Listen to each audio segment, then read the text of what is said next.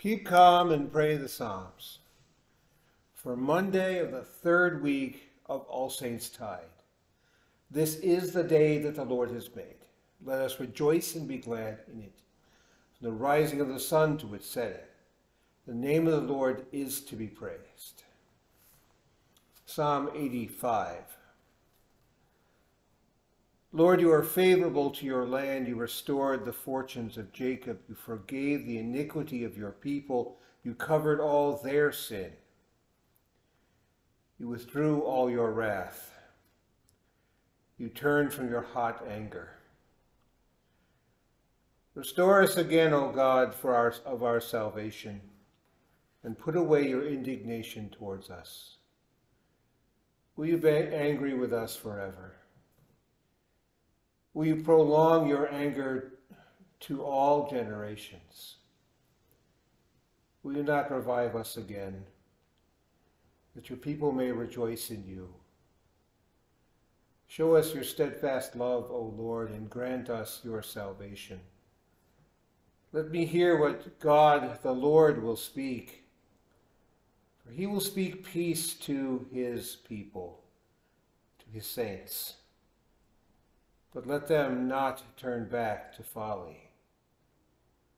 Surely his salvation is near to those who fear him, that glory may dwell in our land. Steadfast love and faithfulness meet, righteousness and peace kiss each other. Faithfulness springs up from the ground, and righteousness looks down from the sky. Yes, the Lord will give what is good, and our land will yield its increase. Righteousness will go before him and make his footsteps a way. Glory be to the Father, and to the Son, and to the Holy Spirit, as it was in the beginning, is now, and will be forever. Amen we speak the Catechism, the Ten Commandments. You shall have no other gods. You shall not misuse the name of the Lord your God. Remember the Sabbath day by keeping it holy. Honor your father and your mother. You shall not murder. You shall not commit adultery. You shall not steal. You shall not give false testimony against your neighbor. You shall not covet your neighbor's house. You shall not covet your neighbor's wife, or his manservant or maidservant, his ox or donkey, or anything that belongs to your neighbor. The Apostles' Creed.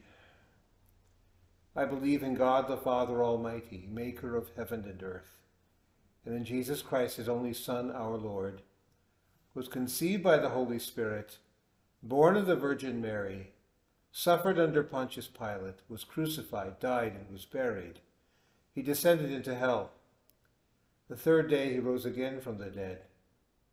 He ascended into heaven and sits at the right hand of God the Father Almighty. From thence he will come to judge the living and the dead.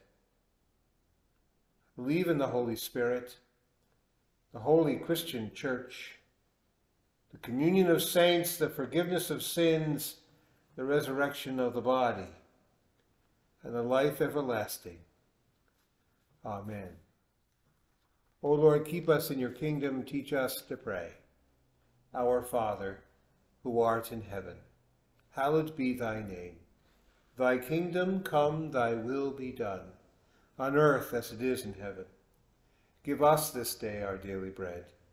Forgive us our trespasses, as we forgive those who trespass against us Lead us not into temptation, but deliver us from evil. For thine is the kingdom and the power and the glory, forever and ever. Amen. The Lord be with you. Let us pray. O Lord, almighty and ever-living God, you have given exceedingly great and precious promises to those who trust in you. Rule and govern our hearts and minds by your Holy Spirit, that we may live and abide forever in your Son, who lives and reigns with you and the Holy Spirit, one God, now and forever. Amen. Luther's Evening Prayer.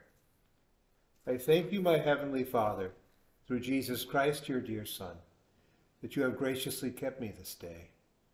And I pray that you would forgive me all my sins where I have done wrong, and graciously keep me this night. For into your hands I commend myself, my body and soul, and all things. That your holy angel be with me, that the evil foe may have no power over me. Amen. Let us bless the Lord. Thanks be to God. The Lord bless thee and keep thee. The Lord make his face to shine upon thee and be gracious unto thee. The Lord lift up his countenance upon thee and give thee peace. Amen.